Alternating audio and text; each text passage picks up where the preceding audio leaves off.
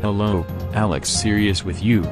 Banks' refusal to offer services to crypto exchanges and blockchain companies has made it difficult for some organizations to stay in business, and has prompted others to move to countries with more friendly regulatory environments.